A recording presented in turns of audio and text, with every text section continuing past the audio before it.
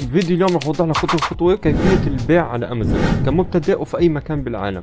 مع تغطية كامل التفاصيل من إنشاء متجر على امازون اختيار المجال المناسب اختيار المنتج الرابح البحث عن موردين واختيار المورد المناسب وأكواد المنتجات وتغليفها وطرق شحن المنتجات من الصين وآخر شيء حساب الأرباح والتكاليف ورسوم الدم الان أول شيء خلونا نتحدث شوي عن متجر أمازون. متجر أمازون بشكل عام هو أكبر متاجر موجوده على الإنترنت وفرصتك إنك تحقق عمليات ربح داخل متجر أمازون كثير كثير عالية. طبعا متجر أمازون بيسمح لك إنك تعرض منتجاتك عليه وتبدأ تحقق عمليات بيع على هاي المنتجات. طبعا أمازون بتيح لك أربع طرق رئيسية للبيع داخل متجرك على أمازون. الطريقة الأولى إنك أنت تشتري منتجات من موردين وتشحن هاي المنتجات على مستودعات أمازون. بعدين أمازون بتكفل بعملية تخزين المنتجات وشحنها للعملاء يعني إذا أي عميل بيشتري من متجرك على أمازون فأمازون بشكل تلقائي بيكمل عملية شحن المنتج للعميل. أما الطريقة الثانية في البيع على أمازون فهي أنت بتكون مسؤول عن التخزين والشحن للعملاء. يعني أنت لازم يكون في عندك مستودع. ثاني شيء أنت لازم كمان تتواصل مع شركة شحن توصل المنتجات للعملاء. بهاي الطريقة أنت ما عليك إلا تشترك فقط في متجر أمازون. لكن أنت ما بتشترك بامازون اف بي اي أمازون اف بي اي هو المسؤول عن آه، تخزين وشحن المنتجات للعملاء. الطريقة الثالثة بالتجارة على أمازون وهي ما تسمى بال dropshipping. أو إسقاط الشحن بهاي الطريقة أنت بتكون طرف ثالث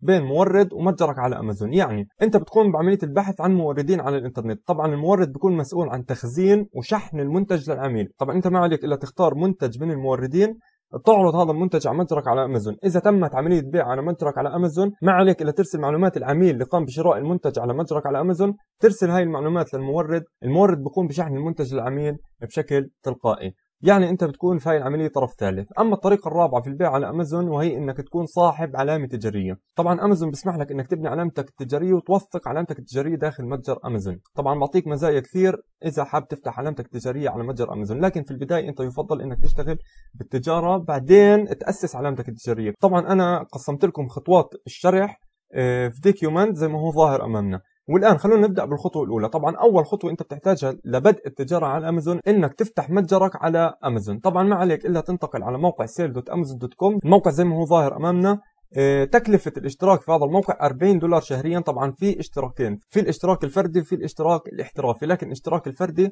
باخذ على كل عملية بيع دولار زيادة على آه، رسوم البيع. فأنا بفضل إنك تدخل بالاشتراك الشهري اللي هو تكلفة 40 دولار. طبعا 40 دولار باخذوها منك فقط أول شهر. باقي الأشهر بس تبدأ تحقق عمليات بيع فببلشوا يخصموا منك كل شهر 40 دولار. طبعا طريقة فتح متجر على أمازون لازم أنت تكون مسجل دخول على موقع أمازون. يعني موقع أمازون بشكل عام أنت لازم تكون عامل عليه حساب. بعد ما تكون عامل عليه حساب آه، بتنتقل على sell.amazon.com بعدين تضغط sign up أول شيء بطلبوا منك معلومات العمل اللي هو وين أنت حاب تبدأ تبيع على أمازون. مثلا الولايات المتحدة بريطانيا كندا ما إلى ذلك. ثاني شيء نوع الحساب إذا كان فردي أو شركة. ثالث شيء بطلبوا منك اسمك الكامل. بعد ما تخلص من هاي الخطوة راح تنتقل للخطوة الثانية وهي إنك تعبي معلوماتك الشخصية. طبعا معلوماتك الشخصية هي بتكون اسمك مكان السكن بريد الالكتروني وتأكيد رقم هاتفك الإلكتروني. بعد ما تخلص من هاي الخطوة بتنتقل لمعلومات الدفع. معلومات الدفع ما عليك إلا تحط بطاقتك الائتمانيه بحيث إنك تكمل عمليات الدفع لأمازون اللي هي ال 40 دولار تكلفة الاشتراك الشهري.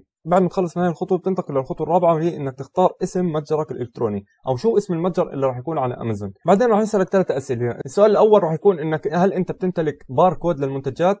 طبعا لازم تضغط عليها يس آه راح نتحدث عنها إن شاء الله بالفيديو. السؤال الثاني بيسالك إنه هل أنت تمتلك شهادات حسب التصنيفات الظاهرة أمامك؟ السؤال الثالث بيسالك هل أنت صاحب علامة تجارية؟ بعد ما تخلص من هاي الخطوة راح تنتقل للخطوة الخامسة واللي هي الاثباتات طبعا من هاي الخطوة أنت راح تقدم صورة عن الهوية الشخصية أو جواز السفر. ثاني إشي كشف حساب بنكي؟ طبعا من خلال هاي الصور هو راح يوثق حسابك أو متجرك على أمازون. بعد ما تخلص من هاي الخطوات راح يتواصلوا معك في مكالمة فيديو بحيث يأكدوا من آه، الهوية الشخصية وكشف الحساب البنكي.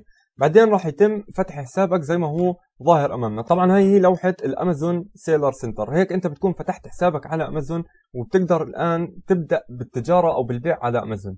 طيب خلونا نرجع لل document الخطوة الثانية هي إنك تختار ال niche والمنتج المناسب. طبعا طريقة اختيار ال niche والمنتج المناسب بيعتمد على عمليات البحث وخبرتك بمجال معين. مثلا خلونا ننتقل على موقع امازون زي ما هو ظاهر أمامنا هذا هو متجر امازون طبعا عليه ملايين من المنتجات.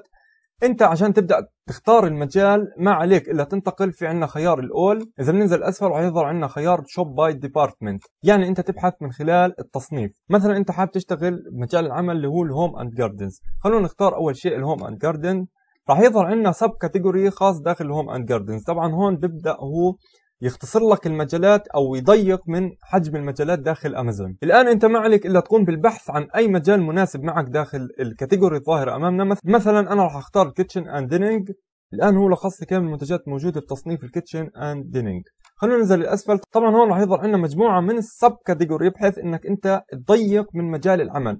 بحيث إنك أنت تتخلص من المنافسة. يعني أنت ما بزبط تشتغل في مجال عالي أو عليه منافسة عالية. عشان هيك لازم تضيق من عملك في البداية بعدين تبدأ تتوسع بعملك.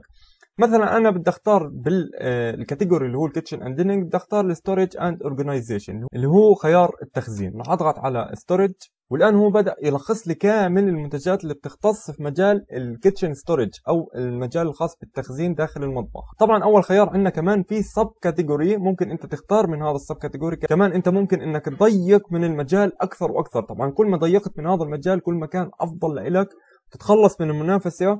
وإن شاء الله راح نحكي الآن عن ال results أو النتائج البحث بحيث أنك تقلل من ال results أو عدد نتائج البحث عن منتج معين. طبعا زي ما هو ظاهر أمامنا إحنا ممكن نختار مثلا food storage في عندنا ثلاث خيارات في عندنا ال sub category اللي هو racks and holders في مجموعة من ال category زي ما هو ظاهر أمامنا أنت ممكن تختار أي category وبتبدا تضيق من المجال أنت راح تبدأ العمل فيه على متجر امازون إذا بننزل للاسفل في عندنا هان customers also viewed بلش هان يرتب لنا المنتجات حسب التصنيفات داخل متجر امازون مثلا هون هاي المنتجات اللي شاهدها العملاء طبعا زي ما ظاهر أمامنا عليها rate كثير عاليه إذا بننزل لاسفل في عندنا هون صنف لنا المنتجات اللي هي top rated يعني أعلى تقييم داخل هذا ال niche. إذا بننزل لاسفل آه، صنف لنا المنتجات حسب ال best sellers. يعني المنتجات الأفضل مبيعا على أمازون. طبعا أنت ممكن تختار أي منتج يجي على بالك من هاي المنتجات لكن في طريقة اختيار للمنتج وإن شاء الله راح نتحدث عنها بالفيديو. إذا بننزل للاسفل كمان في عندنا الهايلي ريتد يعني أعلى تقييم. بننزل للأسفل كمان راح يعطينا الصفقات على أمازون وفي عندنا كمان خيار آه، اللي هو خيار المنتجات سعرها أقل من 25 دولار. ننزل للأسفل كمان هو مصنف لنا كامل المنتجات بترتيب. فهذا الإشي راح يساعدنا في إحنا نحدد المنتج المناسب لنبدأ العمل فيه على أمازون. خلونا ننزل للأسفل. الآن هون بلش يعرض لي المنتجات الموجودة على أمازون. طبعا في عنا هان 50 ألف result يعني داخل خيار storage and organization موجود 50 ألف نتيجة بحث. فأنت 50 ألف نتيجة بحث تعرضها داخل هذا المجال أو داخل هذا ال category فراح يكون عندك منافسة كثير كثير عالية. فأنت بتضطر أنك تبدأ تضيق من هذا ال category بحيث إنك تقلل أكبر عدد ممكن من ال results من النتائج وكمان بنفس الوقت إنه تختار المجال المناسب لتبدأ العمل فيه. الآن خلونا ننزل الأسفل. مثلا أنت راح يكون عندك مجموعة من الخيارات مثلا المنتجات الخاصة في تخزين الفواكه زي ما ظهر أمامنا المنتجات الخاصة في تخزين البقوليات. إذا ننزل الأسفل في عندنا كثير كثير من الخيارات اللي أنت ممكن تختار أي منتج من هاي الخيارات. اختيار المنتج بيعتمد على عوامل معينة منها أنه يكون المنتج عليه طلب مرتفع. ثاني إشي المنافسة تكون منخفضة. ثالث شيء يكون عليه نسبة ربحية عالية بحيث إنك أنت تحقق ربح. كمان إن شاء الله راح نتحدث عن التكاليف اللي راح تواجهها بمسيرة عملك بالتجارة على أمازون. حكينا ثالث شيء الربحية العالية. رابع شيء تحسين البحث. طبعا تحسين البحث شيء مهم كثير داخل أمازون بحيث إنك أنت لما تبدأ تعرض منتجك على متجرك على أمازون شركة أمازون راح تطلب منك كي وورد أو كلمات مفتاحية اللي بتدل على هذا المنتج. طبعا اعتماد اختيارك على كلمة مفتاحية كثير مهم بحيث إنه ممكن أنت تختار كلمة مفتاحية يكون عليها منافسة عالية فهيك منتجك ما راح يظهر في نتائج البحث. فإن شاء الله راح نتحدث عنها. آه، طبعا حكينا الخطوة الرابعة هي تحسين البحث. الخطوة الخامسة يكون سهل البيع. كيف يعني سهل البيع؟ يعني المنتج ما يكون آه، بتكسر، المنتج ما يكون حجمه كبير، ابدأ بالمنتجات اللي حجمها صغير بالبداية، ابدأ بالمنتجات الرخيصة اللي هي أقل من 70 آه، دولار عشان يكون سهولة بالشحن المنتج وسهولة في بيع المنتج على أمازون. سادس شيء ما يكون على المنتجات مشاكل بتعترض سياسة أمازون مثل التقليد. يعني إذا مثلا شركة نايك تروح أنت تستورد منتجات مقلدة من الصين لشركة نايك وتبدأ تعرضها على متجرك على أمازون فهون أنت راح تتعرض لتسكير متجرك على أمازون. طبعا هاي العوامل الست اللي أنا ذكرتها على أنك تختار المنتج المناسب لتبدأ تعرضه على أمازون أو تبدأ تبحث عن مورد لهذا المنتج بحيث أنك ترسل المنتجات على منتجك على أمازون أو على مخزون أمازون فراح تستخدم أداة مساعدة لعملك على أمازون. هي أداة جانجل سكوت طبعا هاي الاداه وظيفتها إنها تأمن لك قاعدة بيانات كاملة لمنتجات أمازون. طبعا أنت إذا تشتغل على متجر أمازون فأنت لازم تتحقق من المنافسية عن المنتجات الموجودة على أمازون. يعني ما بزبط أنت تروح تعمل بحث عن منتجات خارج متجر أمازون. لازم تنافس المنتجات داخل متجر أمازون. هاي الأداة وظيفتها إنها تأمن لك قاعدة بيانات. طبعا هاي الأداة راح أشرحها في فيديو منفصل شرح كامل وكيف تختار المنتج الرابح على أمازون. آه، بس راح أحكي بشكل سريع عن هاي الأداة. هاي الأداة بتأمن لك قاعدة بيانات. هاي قاعدة بيانات بتكون مقسمة لعدة أجزاء منها مثلا المنتجات اللي عليها طلب عالي تحقيق الربح من هاي المنتجات تكلفة المنتج من المورد تكلفة المنتج أو أرباح أمازون من هذا المنتج إذا بدك تبيعه على أمازون. مثلا المنتجات اللي عليها ريت عالي مثلا منتجات أنت بدك تختار منتجات عليها ريت منخفض مثلا ثلاث نجوم لكن عليها بيع عالي فهون أنت بكون لك أحقية إنك تنافس هذا المنتج. فأنت بتشوف وين المشكل في هذا المنتج. ليش العملاء عاملين تقييم منخفض على هذا المنتج؟ بنفس الوقت هذا المنتج لسه عليه طلب. فأنت هون بكون لك مكانة بالمنافسة على هذا المنتج. أنت بتحقق من مشاكل هذا المنتج. بتبدأ تجيب منتج بديل يحل هاي المشاكل للعملاء وتعرضه على متجرك على أمازون. فهيك أنت بتحقق عمليات بيع وبتتخلص من المنافسة بنفس الوقت. إن شاء الله أنا راح أشرح هاي الأداة بشكل تفصيلي فيديو ثاني. والآن هيك عرفنا أنت كيف تختار ال niche وكيف تختار المنتج المناسب على أمازون. خلونا نرجع لل document طبعا إحنا تحدثنا كيف اختيار ال niche وتحدثنا كيف إنك تبحث عن المنتج الرابح. والآن خلونا ننتقل للخطوة الرابعة وهي البحث عن موردين. طبعا أنت قبل ما تبدأ البحث عن الموردين لازم تختار المنتج اللي راح تبدأ تبيعه على متجرك على أمازون. طيب والآن دور عليك إنك تبحث عن موردين. طبعا المتجر الجمله الأول في العالم هو موقع علي بابا خلونا ننتقل لمتجر علي بابا طبعا متجر علي بابا هو متجر التجارة بالجملة يعني أنت داخل علي بابا ما بزبط إنك تشتري آه، بالحبة. لا لازم تشتري بالكمية. فمتجر علي بابا واحد من أفضل متاجر الجملة على الإنترنت. ثاني إشي بقدم لك ملايين من الموردين الموجودين بالصين وحول العالم. يعني إذا إحنا بننزل للأسفل طبعا هون في عندك suppliers by country or region يعني أنت ممكن تختار المورد حسب الدولة اللي بدك إياها. يعني أنت مثلا بدك تشتري منتجات من الولايات المتحدة فممكن أنت تختار موردين موجودين داخل الولايات المتحدة وتبدأ تشتري منهم منتجات طبعا حسب المجال اللي أنت قمت باختياره. لكن الدولة الأفضل لتوريد المنتجات اللي هي الصين. عشان هيك أنت آه، يفضل في البداية إنك تختار منتجاتك بالصين. طبعا راح يكون في عندك عملية شحن للمنتجات للولايات المتحدة أو لمستودعات أمازون. وإن شاء الله راح نشرحها بالتفصيل بالفيديو. ما عليك إلا تحضر الفيديو بشكل كامل عشان تفهم آلية العمل بالتجارة الإلكترونية على منصة أمازون. والآن زي ما هو ظاهر أمامنا هو بقدم لك مجموعة من المنتجات. طبعا هاي المنتجات هي معروضة من خلال موردين. طبعا الموردين الموجودين على الإنترنت بنقسموا لجزئين إما تجار وإما مصانع. إيه، طبعا يفضل أنت دائما تختار مورد إنه يكون مصنع. أما التاجر فهو راح يكون وسيط بينك وبين المصنع فالتاجر وظيفته إنه يشتري المنتجات من المصانع ويعرض هاي المنتجات أو يبيعك هاي المنتجات أنت كتاجر. عشان هيك يفضل أنت لما تختار مورد يكون هذا مورد مصنع يعني هو اللي صنع المنتج. فأنت تتواصل مع هذا المصنع بحيث إنك تتفق مع المصنع على أقل سعر ممكن للمنتج. طيب خلونا نطلع للأعلى. طبعا في عندنا خيار ال category موجود زي ما هو ظاهر أمامنا. بننزل طبعا إذا بننزل أسفل رح نلاقي مجموعة من ال category أو التصنيفات الموجودة على علي بابا مثلا إحنا اخترنا niche اللي هو ال home and gardens عشان هيك رح ننتقل لخيار ال home and gardens. رح يظهر عندنا sub category زي ما هو ظاهر أمامنا. آه، طبعا إحنا اخترنا خيار التخزين داخل آه، تصنيف ال home and gardens واخترنا منتجات اللي هي المنتجات الخاصة بتخزين الطعام. فعندنا هون خيار storage boxes رح نضغط عليه بعد ما قمنا بالضغط على خيار ال storage طبعا زي ما هو ظاهر أمامنا هان مثلا هذا المورد هو مصنع. زي ما هو ظاهر أمامنا هون قاعد بعرض لك فيديو. خاص بالشركة أو بالمصنع اللي بيصنع هاي المنتجات. والآن بننزل الأسفل نبدأ نبحث عن المنتج اللي إحنا حددناه إنه نبيعه على متجرنا على أمازون. من خلال من خلال عملية تحديد المنتج اللي قمنا بعملها على متجر أمازون. فزي ما هو ظاهر أمامنا في عندنا مجموعة من المنتجات. ممكن أنت تختار أي منتج طبعا حسب تحليلاتك. يعني بعيد وبكرر اختيارك للمنتج بيتم بعد أنت ما تحدد نوع المنتج اللي راح تبيعه على امازون الآن دور عليك إنك تبحث عن موردين لهذا المنتج.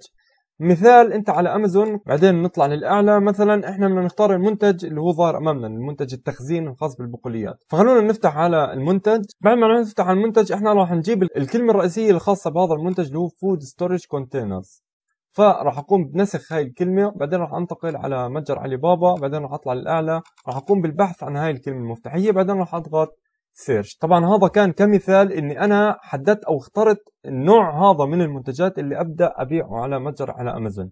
فزي ما هو ظاهر أمامنا على آه، متجر إيباي راح يظهر عندي مجموعة من المنتجات اللي نفس المنتج أنا قمت باختياره إني أبدأ أعرضه على أمازون. الآن دور علي إني أختار المورد المناسب بنفس الوقت اللي يقدم لي أرخص سعر جملة بحيث إني أحقق أعلى ربحية على متجر على أمازون. إذا نطلع الاعلى مثلا هون سعر سعر ال order من 69 سنت لدولار. يعني إذا أنت بتشتري هاي المنتج وبتبدأ تعرض على متجرك أمازون فأنت رح تحقق عملية بيع كثير عالية. طبعا في عندنا هون خيار اللي هو minimum order يعني أنت إذا تختار منتج فعندك أقل كمية بيع لهذا المنتج. مثلا المنتج الظاهر أمامنا ال minimum order عنده 500 حبة. فأنت إذا بدك تشتري هذا المنتج لازم تشتري 500 حبة. مثلا المنتج الظاهر أمامنا ال minimum order عليه 50 حبة. عشان هيك أنت مهم كثير لك إنك تحدد الكمية اللي رح تقوم بشرائها قبل ما تختار المورد. طبعا في عندنا أمر مهم كثير على آه، متجر ايباي طبعا في عندنا هان خيار ال verify ال verified هذا أنت دائما اختار الموردين اللي عليهم هاي العلامة. هاي العلامة ايباي آه، بتعطيها لهذا المورد بعد ما تزور المصنع تاعه. يعني بعد ما تتحقق من هذا المصنع وتشوف آه، هذا المورد قديش صار له بيصنع المنتجات وبيورد بالسوق. يعني مثلا هذا المورد صار له بيصنع سنتين زي ما ظهر أمامنا. 2 years إذا بننزل أسفل مثلا هذا المورد صار له بيصنع المنتجات أربع سنين. يعني هذا المورد صار له بالسوق تقريبا أربع سنين وحصل على rate عالي من العملاء. فعشان هيك هذا المورد بيكون موثوق على ايباي على سبيل المثال أنا بدي أختار المنتج الظاهر أمامنا. راح أضغط على المنتج. الآن راح تبدأ عندي هان العروض وتفاصيل المنتج بشكل كامل. طبعا زي ما هو ظاهر أمامنا هان من 60 ل 500 حبة بحسب لك الحبة بدولار فاصلة 8 سنت. إذا حاب تشتري من 500 ل 1000 حبة رح يحسب لك الحبة بدولار 3 سنت. إذا بدك تشتري أكثر من 1000 حبة فرح يحسب لك الحبة ب 98 سنت. طبعا هون كامل المعلومات الخاصة بالمنتج. ال color اللي هو black و gray يعني اللون الأسود و silver. والآن ننزل للأسفل في عنا هان آه، طرق الدفع. طبعا في هان تكلفة الحبة اللي هي العينة. هاي أنت بعد ما تحدد الكمية اللي بدك إياها فإذا أنت بدك تطلب عينة لإلك إنك تجرب هاي العينة فتكلفة العينة 2 دولار فاصلة 8 سنت. وكمان في عندنا خيار ال customization فهذا الخيار كثير مهم لإلك. إيه، عندك أول إشي أنت المورد هذا بسمح لك إنك تخصص لوجو خاص للمنتج.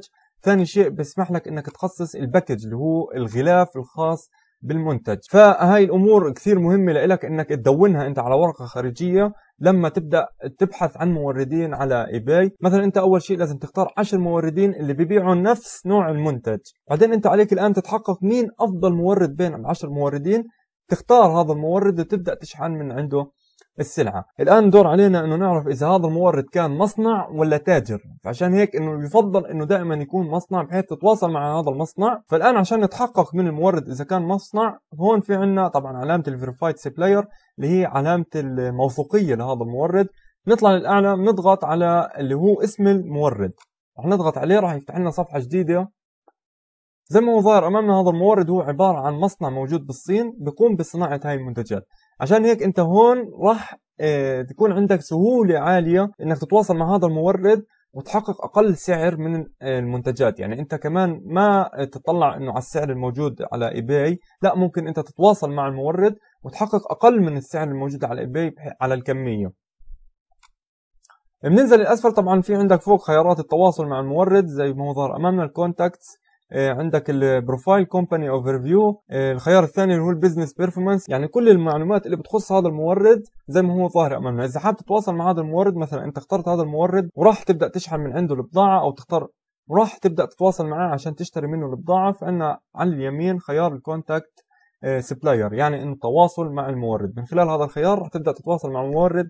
تحكي له مثلا إنه يجهز لك 500 حبة. شو السعر اللي رح تتفقوا عليه بينك وبين المورد؟ في عندك دور إنك أنت تتفق مع المورد في معلومات الشحن؟ وإن شاء الله رح نتحدث عنها في الفيديو. الآن هيك إحنا بنكون بحثنا عن المورد على علي بابا خلونا ننتقل للخطوة الخامسة واللي هي الحصول على أكواد المنتجات. قبل ما نبدأ هاي الخطوة خلونا نحكي شوي عن أكواد المنتجات. طبعا متجر أمازون بتطلب منك انك إنك أنت أي منتج تعرض داخل متجر أمازون لازم يكون على هذا المنتج كود. طبعا هذا الكود زي الكود الظاهر أمامنا. هذا الكود بيكون موجود على أي منتج آه، بيكون بيحمل الصفات العامة للمنتج مثل اللون القياس الحجم السعر كل الأمور اللي بتخص هذا المنتج بيختصرها هذا الكود. فعشان هيك أنت لما تعرض منتجاتك على أمازون بطلب منك إنه أي منتج بتنزله على أمازون لازم يكون معاه كود. هذا اسم هذا الكود يسمى بال UPC. طيب أنت من وين تحصل على هاي اكواد الموقع الرئيسي بالعالم اللي بقدم لك هاي الأكواد هو موقع GS1 طبعا هذا الموقع كمان أمازون يعني ما بتسمح لك إنك أنت تجيب أكواد. طبعا في أشخاص موجودين على الإنترنت اللي بيبيعوك أكواد مستعملة. يعني المنتج انتهى انباع للعملاء لكن الكود لسه موجود عند العميل. ففي أشخاص على الإنترنت ببيعوك هاي الأكواد المستعملة بسعر أرخص بكثير من موقع GS1 لكن أمازون برفض هاي الأكواد. لازم تشتري الأكواد من موقع GS1 يعني الموقع GS1 هو الموقع الوحيد اللي راح يبيعك هاي الأكواد. ما في أي موقع بديل لأكواد المنتجات. إذا بننزل للاسفل طبعا زي ما هو ظاهر أمامنا هي الأكواد. آه، طبعا هون إذا أنت حابب تشتغل تشتري single UPC يعني باركود واحد فقط لمنتج واحد تكلفته 30 دولار. لكن إذا أنت حاب تشتغل يعني إذا أنت عندك أكثر من منتج يعني بدك تشتري مجموعة من الباركود فلازم تختار الخيار الأول. راح نقوم باختيار الخيار الأول. الآن راح ننزل للاسفل راح يظهر عندنا الأسعار الخاصة بالأكواد. إذا أنت كان عندك من منتج ل 10 منتجات فتكلفتهم 250 دولار وتكلفة التجديد 50 دولار. إذا أنت كان عندك من منتج ل 100 منتج فتكلفته 750 طبعا زي ما هو ظاهر أمامنا كل ما ارتفعوا عدد الباركودز كل ما رخص السعر. عشان هيك أنت لازم تحدد كم من منتج راح تبيعه على أمازون قبل ما تشتري الأكواد. بعد ما تحدد عدد المنتجات مثلا أنت كان عندك 1000 منتج راح تبيعه على أمازون. طبعا هذا الكود لكل منتج أنت بتكون تنزيله على أمازون. مثلا إذا أنت كان عندك منتج واحد من هذا المنتج فيه ثلاث ألوان وثلاث أحجام فأنت هان لازم تضرب ثلاث بثلاث يعني تسع منتجات عندك راح تعرضهم على امازون لازم تشتري أنت تسعة barcodes لكل منتج. يعني هذا المنتج بالحجم الفلاني باللون الفلاني المنتج الثاني بالحجم الفلاني باللون الفلاني باللون الفلاني. نفس العملية بتكررها على كامل المنتجات. عشان هيك أنت لازم تحسب كمية المنتجات اللي راح تعرضها على امازون قبل ما تشتري ال barcodes الخاصة بالمنتجات. طبعا ما راح يسمح لك تعرض منتجاتك على متجرك على امازون إلا لما تشتري اللي هو الباركود يعني. يعني انت لما تروح تنزل منتج على متجرك على أمازون راح يكون في عندك خيار اللي هو خيار ال UPC الخاصة بالمنتج. انت إذا ما عبيت هذا الخيار ما راح يكون تنزيل المنتج. عشان هيك مهم كثير موقع GS1 طبعا من خلال هذا الموقع انت راح تشتري الباركود. آه، الأمر كثير سهل عليك إلا تشترك في الموقع. بعدين داخل الموقع بتحدد له مثلا آه، شو المنتج اللي انت بدك تبيعه. آه، شو اللون المنتج الألوان الخاصة بالمنتج أحجام المنتج size إذا كان ملابس category كل هاي الأمور تتعلق بالمنتج أنت بتحددها آه، سعر المنتج. بعدين بتضغط يعني generate فهو راح يقوم بإنشاء ال UPC أو الباركود الخاصة بهذا المنتج. ما عليك إلا تعمل نسخ لهذا الباركود وتلصقه في متجرك على أمازون وهيك بنكون عرفنا كيف إحنا نحصل على آه، أكواد الخاصة بالمنتجات أو ال barcodes الخاصة بالمنتجات. اللي راح نقوم بعرضها على أمازون. والآن خلونا ننتقل للخطوة السادسة وهي تغليف المنتجات. طبعا تغليف المنتج بشكل عام بيعتمد على المورد. بس أنا بهاي الخطوة لازم أحكي لكم شغلة كثير مهمة بتطلبها أمازون. سياسة أمازون بطلب منك إنك أنت لما تشتري منتجات من المورد وتشحنها على متجر أمازون لازم على كرتونة المنتج يكون في شغلتين رئيسيات. أول شيء بلد تصنيع المنتج. يعني هذا المنتج صنع بالصين لازم يكون مكتوب على الكرتونه made in China ثاني شيء لازم يكون على الكرتونه كود يسمى ال SKU طبعا هذا الكود مختلف عن ال UPC اللي هو ال UPC اللي أنت راح تجيبه من موقع GS1 لكن ال SKU أنت لما تقوم بعرض منتجاتك على امازون Seller Center يعني لما بعد ما تختار المنتج تختار المورد أنت راح تطلب عينة من المورد راح تقوم بعرض منتجك داخل متجرك على امازون أول ما تعرض منتجك على متجرك على امازون بشكل تلقائي امازون راح يعطيك كود اسمه ال SKU هذا ال SKU هو الكود النهائي للمنتج يعني الكود العام للمنتج. هذا الكود لازم يكون موجود على الكرتونة التغليف الخاصة بالمنتج. بعد ما تعرض منتجاتك على امازون كل اللي عليك انك إنك تقوم بتحميل ال SKU لكامل المنتجات اللي أنت عرضتها على متجرك على امازون طبعا بتحملها على شكل PDF طريقه التحميل كثير سهلة يعني أنت كل منتج بتعرضه على امازون راح يكون في جنبه خيار ال SKU راح تضغط على هذا الخيار راح ينزل عندك ال SKU على شكل PDF أو ممكن أنت تحمل كامل ال SKU لكامل المنتجات الموجودة عندك على أمازون وإن شاء الله راح اتحدث عنها بالخطوة القادمة اللي هي إنك لما تشحن منتجاتك على مستودعات أمازون. والآن أنت كيف تغلف المنتجات؟ طبعا زي ما ذكرت أنت لازم تركز على شغلتين رئيسيين إنه بلد تصنيع المنتج وال SKU يكونوا موجودين على الغلاف الخارجي للمنتج. طبعا المسؤول عن تغليف المنتج اللي هو المورد اللي راح تشتري منه المنتجات. عشان هيك أنت راح تتواصل مع المورد المورد راح يحكي لك أبعاد تغليف.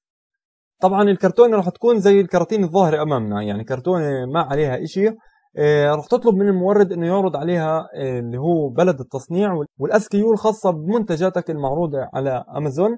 بعدين المورد راح يعطيك كامل المعلومات اللي بتخص صندوق المنتج يعني الغلاف الخاص بالمنتج من حجم الصندوق وأبعاد الصندوق وهذا إشي كثير مهم إلك لما تشحن المنتج على مستودعات أمازون. يعني داخل مستودعات أمازون أمازون راح يطلب منك إنك تحط أبعاد الصندوق حجم الصندوق وكامل المواصفات الخاصة بالصندوق وقديش عدد الصناديق يعني كم عدد منتج وقديش عدد المنتجات اللي راح تشحنها على المستودع كل الأمور اللي بتخص الشحن فأنت راح يعطيك إياها المورد. والآن خلونا ننتقل للخطوة اللي بعدها هيك بنكون عرفنا كيف إحنا نغلف منتجاتنا. طبعا تغليف المنتجات بتحملها المورد. إذا ما تحملها المورد بتحملها يعني إذا كانت في شركة تصنيع مثلا ما بتغلف المنتجات بتحملها وكيل الشحن. يعني أنت لما آه، تتواصل مع وكيل شحن فوكيل الشحن هذا بغلف لك هاي المنتجات وبرسل لك منتجاتك على مستودعات أمازون. طيب والآن الخطوة السابعة اللي هي العثور على وكلاء شحن. هون أمر كثير مهم. أنت الآن عرضت منتجاتك على أمازون. طبعا عرضتها بالدرافت. يعني أنت ما نشرتها على متجرك على أمازون أنت فقط نزلت المنتجات داخل متجر أمازون. لكن مش معروض للعملاء إنهم يكونوا مستعدين للشراء. اخترت مورد وتواصلت مع المورد وحدد لك متى أي يوم بنتهي تصنيع المنتجات أو إذا كانت المنتجات جاهزة. الآن دور عليك أنت أنك تبحث عن وكلاء شحن. طبعا أنا بالفيديو راح أعطيكم أسهل ثلاث طرق أنك تبحث عن وكيل شحن موثوق. الطريقة الأولى عندنا من الموقع الظاهر أمامنا. طبعا راح أترككم رابط الموقع موجود بالوصف. رابط كامل المواقع اللي ذكرتها بالفيديو راح تلاقوها موجودة بالوصف عشان تسهل عليكم العمل. كمان راح تلاقوها بالترتيب وراح تلاقوا إنه الفيديو مقسم لأجزاء بالوصف بحيث إنكم أنتم ترجعوا لمكان معين بالفيديو عشان ترجعوا تفهموه بشكل أفضل. هذا الموقع بأمن لك وكلاء شحن حول العالم. إيه بعد ما تسجل داخل هذا الموقع طبعا تسجيل فيه مجاني راح تظهر عندك الصفحة زي ما هو ظاهر أمامنا. طبعا هون بعطيك خيارات الشحن. إذا بننزل الأسفل في عندنا هون وكلاء شحن لكن أنت بالأعلى راح تبدأ تحدد له مكان الشحن ومكان الاستلام. فعندنا الخيار الأول اللي هو مكان استلام الشحنة مش مكان تسليم الشحنة. يعني أنت إيه، هون لازم تعبي معلومات المورد. أول شيء هون راح تحدد إيه، نوع المكان اللي راح يستلم منه آه، وكيل الشحن. طبعا في عندك أربع خيارات. أول واحد port اللي هو الميناء. الخيار الثاني factory اللي هو مصنع business address آه، يعني اللي هو آه، مكان عمل ومكان سكن. راح نختار factory يعني وكيل الشحن راح يستلم المنتجات من مصنع. بعد ما نقوم باختيار factory هون راح يحكي لنا وين البلد الاستلام أو وين بلد المصنع. طبعا راح نحكي له China طبعا هون علينا ال address. ال address كثير مهم. إحنا من وين نجيب ال address؟ ال address اللي هو عنوان المورد. من وين إحنا نجيب عنوان المورد؟ إما نتواصل مع المورد أو من المعلومات الخاصة بالمورد. مثلا رح نضغط على contacts بعد ما ضغطنا على contacts هون راح يكون عندنا خيارات التواصل مع المورد راح ننزل للأسفل راح يكون عندنا ال company information يعني المعلومات الخاصة بالمورد. طبعا إذا نطلع هان اللي هو العنوان الخاص بالمصنع الخاص بالمورد. راح نقوم بنسخ هذا العنوان راح نعمل له copy بعدين راح نرجع للموقع. راح ننسخ عنوان المورد بخيار ال address. زي ما هو ظاهر أمامنا آه، بشكل سريع ظهر عندنا اللي هو العنوان الخاص بالمورد. راح نضغط عليه بعدين راح نضغط next بعد ما ضغطنا next هون عندنا خيار وين مكان تسليم الشحنة. طبعا في عندنا هون أنواع يعني أنت لمين بدك تسلم الشحنة؟ طبعا أنت راح تسلم الشحنة ل fulfillment center يعني لمستودعات الخاصة بأمازون. راح نضغط fulfillment center آه، وين بلد تسليم الشحنة؟ اللي هي ال United States. إذا أنت كان متجرك داخل الولايات المتحدة. طيب والآن علينا ال address. طبعا أنت تختار مكان آه، تسليم الشحنة اللي هو المستودع الخاص بأمازون. يعني آه، عنوان هذا المستودع وين موجود داخل أمريكا. طبعا إذا بنضغط على هذا الخيار راح يظهر عندنا كامل مستودعات أمازون داخل أمريكا. أنت ما عليك إلا تختار المستودع. طبعا كيف أنت تختار هذا المستودع؟ من خلال أمازون FBA من خلال مكان إستلام الشحنة داخل أمازون أو كيفية أو كيفية استلام الشحنة داخل أمازون واللي راح نتحدث عنها بالخطوة القادمة. مثلا أنا بدي استلم الشحنة بالعنوان الظاهر أمامنا. الآن هيك أنا حددت آه، مكان استلام الشحنة راح أضغط next أيضا عندنا خيار ال load. خيار ال load هو خيار الحمل. طبعا بخيار الحمل راح يظهر عندك خيارين. الأول اللي هو شحنة يعني شحنة صغيرة وفي عندك خيار الثاني container يعني إذا أنت بدك تشحن container كامل. طبعا أنت في البداية أكيد راح تشحن شحنات صغيرة اللي هي طبليه الخشب وعليها كراتين. طبعا إحنا راح نختار اللي هي الشحنة. بعدين عندنا خيار اللي هو نوع الشحنة اللي هو pallets اللي هو اللي حكيت عنه اللي هو الطبليه أو boxes اللي هو صناديق. فإحنا أكيد أنت لما بدك تشحن بالكميات مثلا 100 حبة أو 200 حبة فأكيد راح تكون على طبلية خشب اللي هي مش عارف إذا موجودة هان أشرح لكم إياها. خلونا نرجع لل home. شايفين هاي الطبلية الزرقاء هاي تسمى طبلية. هذا الحمل كامل يسمى طبلية أو pallets طيب والآن نرجع لوكيل الشحن. آه طبعا إحنا نخليها pallets طبعا كامل هاي الخيارات بيعتمد عليها المورد.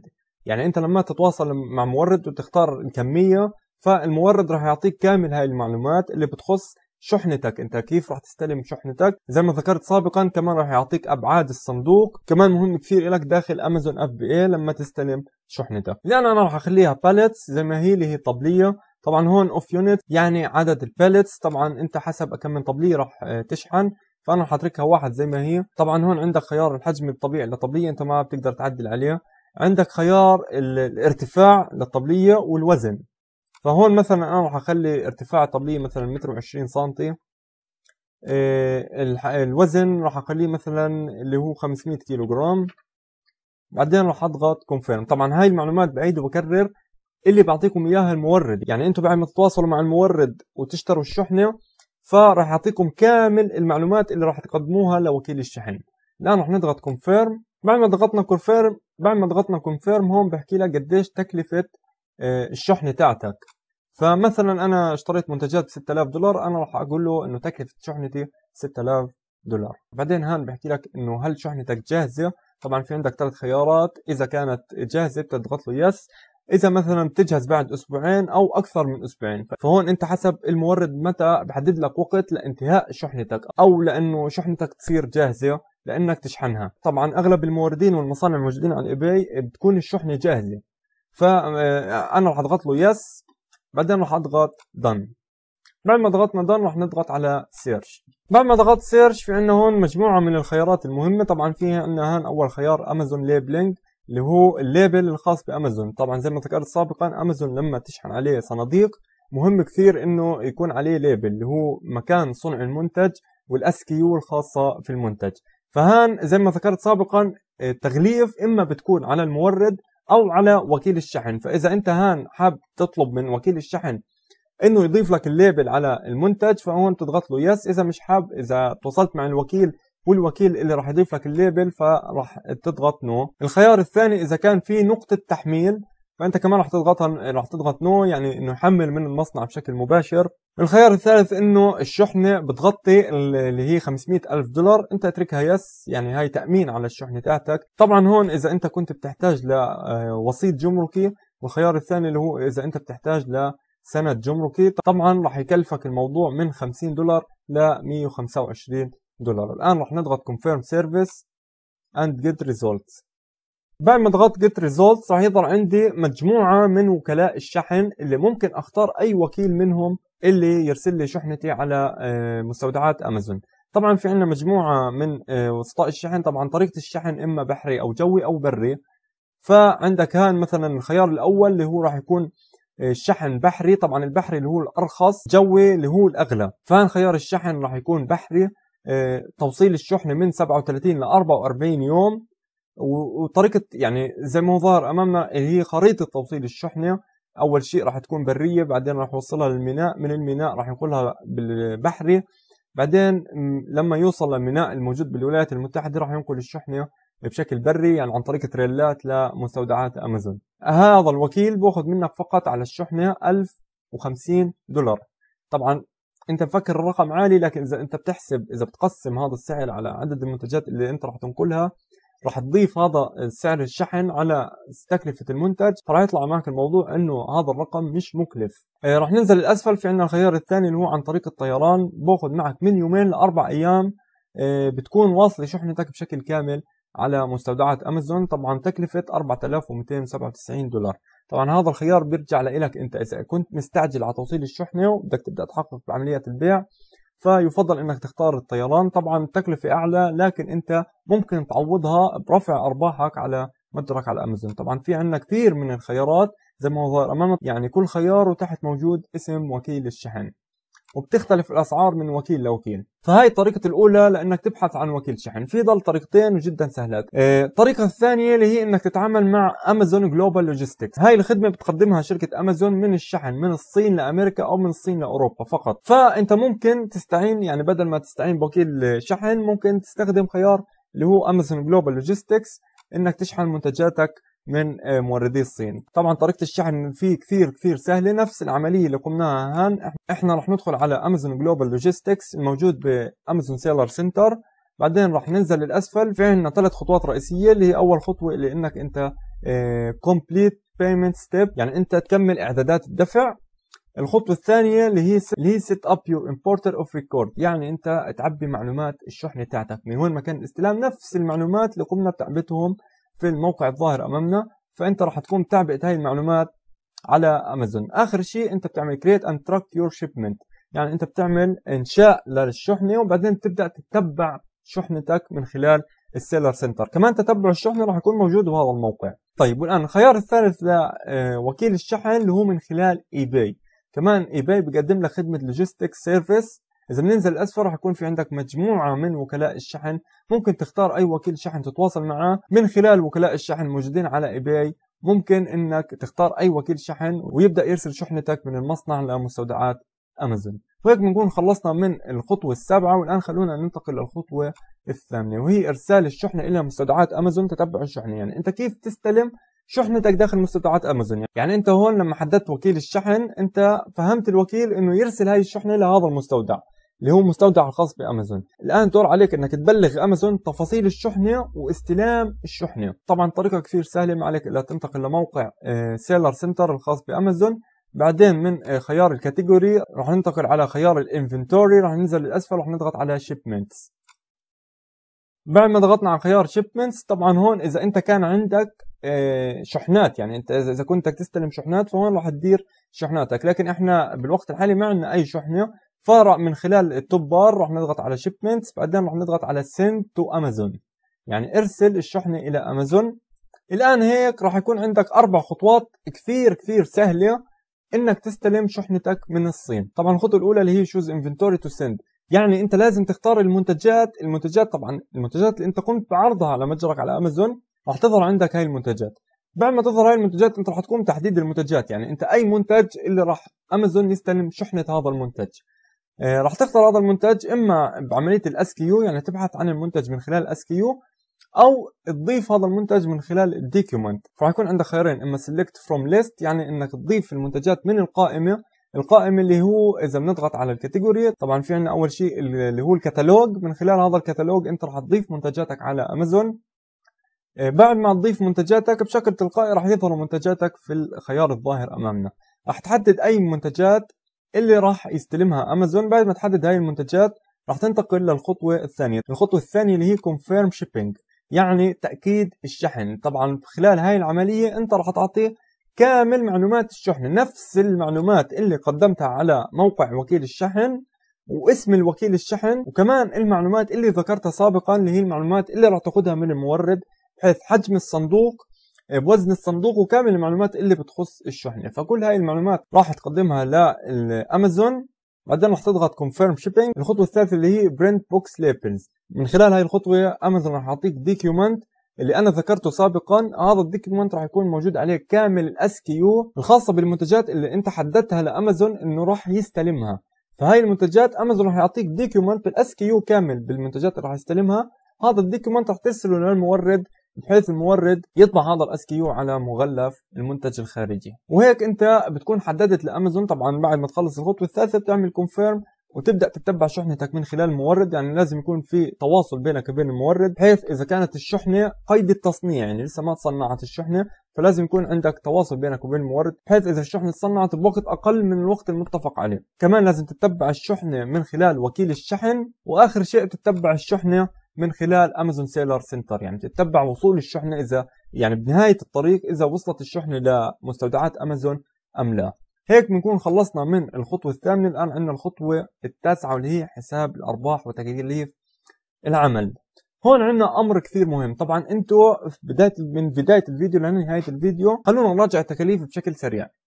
طبعا أول شيء إحنا بعد ما قمنا باختيار المنتج وحددنا المورد. كان عندنا سعر المنتج مثلا آه، دولار و3 سنت. فأنت بتحسب فأنت بتضيف على ورقة خارجية إنه سعر المنتج هذا دولار و3 سنت. كم من حبة؟ اللي هو 500 حبة فبتضرب 500 بدولار فاصل 3 سنت. هيك بيطلع من عندك مجموع تكاليف المنتج أو تصنيع المنتج. الآن دور عليك إنك تضيف هاي التكلفة اللي هي تكلفة الشحن. فبننتقل لمورد الشحن. طبعا كانت عندنا تكلفة الشحن مثلا اخترنا اللي هي الوكيل الأول فتكلفة الشحن هان 1050 دولار وعندنا 500 دولار اللي هو سعر المنتجات. طبعا هذا السعر آه، بشكل تقديري يعني أنا ما قاعد بحسب لك لكن أنا قاعد بعطيك كيف أنت تحسب تكاليف العمل. فعندنا هان دولار مثلا إحنا اخترنا اللي هو ما خلونا نحكي إنه اخترنا 1000 منتج فدولار فاصل 3 سنت ب 1000 يعني تقريبا 1000 دولار 1030 دولار. زائد اللي هو تكلفة الشحن اللي هي 1050 دولار فهيك صار عندنا إحنا 2080 دولار. زائد بدك تضيف 40 دولار اللي هو تكلفة متجر أمازون فتقريبا صار عندنا 2120 دولار. الآن في عندنا اللي هي رسوم أمازون. طبعا كثير منكم بتسألوا قديش رسوم أمازون أو إذا غالي أو لا أو ما إلى ذلك. فعشان نتعرف على رسوم أمازون رح ننتقل على الموقع الظاهر أمامنا. من خلال هذا الموقع رح يظهر عندنا كامل التكاليف اللي راح يأخذها امازون طبعا إذا ننزل الاسفل اللي هو تكاليف التخزين داخل مستودعات امازون طبعا هون امازون بعطيك 120 يوم تخزين مجاني. إذا بننزل الاسفل آه، طبعا هون خطة اللي هو ال selling. طبعا حكيت لكم أنا ب... طبعا ذكرناها في بداية الفيديو. إذا بننزل الاسفل في عنا رسوم ال category يعني رسوم البيع. طبعا هاي الرسوم بأخذها امازون على التكلفة الكاملة لعملية البيع. مش تكلفة المنتج يعني أنت قديش بدك تسعر المنتج على أمازون؟ مثلا عندك منتج أنت بدك تعرضه على أمازون وتبيعه على أمازون تكلفة 100 دولار فهاي الرسوم مثلا 45% فأمازون راح يأخذ 45% من ال 100 دولار. فبننزل أسفل هون حسب ال category اللي أنت راح تختاره. مثلا إحنا اخترنا اللي هو ال home and gardens خلونا نختار اللي هو ال home and kitchen تكلفة رسوم أمازون على كل منتج أنت بتبيعه اللي هو 15 بالمية يعني انت بعت منتج بسعر 100 دولار فأمازون راح يأخذ منك 15 دولار على سعر المنتج. طبعا 15 دولار راح تكون بدل آه توصيل المنتج للعملاء من مستودعات أمازون الشحن لدى مستودعات أمازون كمان العروض اللي راح يقدم لك إياها أمازون داخل متجرك على أمازون. فهاي السعر كثير كثير آه متواضع بالنسبة لمتجر أمازون اللي هو المتجر العملاق على الإنترنت أو المتجر الأول عالميا على الإنترنت. فكامل هاي الرسوم انت بتحسبها بتزيدها على أسعار المنتج بعدين آخر شيء بتستخلص أرباحك أو بتحسب أرباحك بشكل آه، سهل. طبعا كامل روابط المواقع رح لكم إياها موجودة بالوصف. آه، هيك بكون انتهى فيديو اليوم. إذا عجبكم الفيديو لا تنسوا تضغطوا لايك واشتراك في القناة وانتظرونا بالفيديوهات القادمة اللي رح نتعمق في الموضوع بشكل أكثر. آه، إلى اللقاء.